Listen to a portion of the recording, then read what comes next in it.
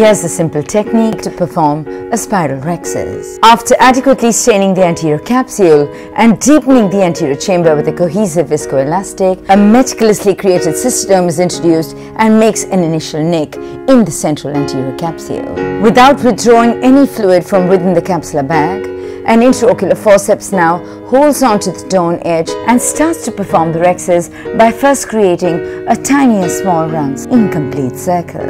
Whilst propagating the tear, every few clock hours the torn edge is now regrasped with the help of the forceps and watch how it moves through two circles, the second larger than the first, in a spiral manner, thereby resulting in enlarging the capsular axis to get it to the adequate size as demonstrated. By maintaining the anterior chamber deep with the use of a cohesive viscoelastic throughout the performing of the rhexis, the chances of going out into the periphery are minimum. Thank you.